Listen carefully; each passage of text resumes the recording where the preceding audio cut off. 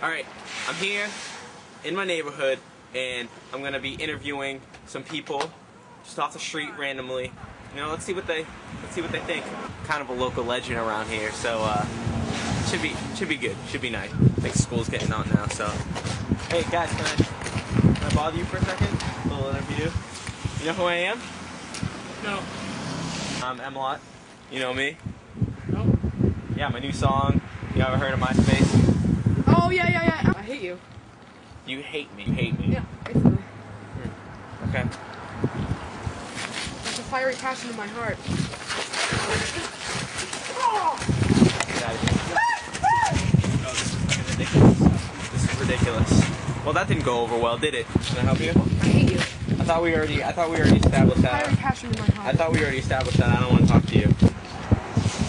All right, we're gonna keep this going. Hey, Hey, what's up, man?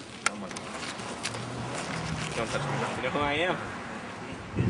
maybe, maybe. You're here. He's a huge fan Oh. of rap. Oh, Yeah. M.Lot, Yeah, legend. yeah, the local local legend.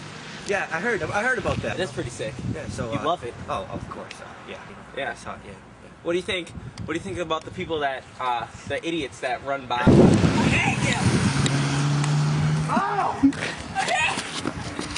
When you start to breathe, when you just believe What's next to see Talking to you, Mr. Nice Guy, Mr. Right Now Miss your chance, gotta get up before they miss out Mistakes with misstepping, Mr. I can't let them mistake us for a weapon Battling over heaven, gather misses and children and give them some love Gather masses and witness the power above Rather my words be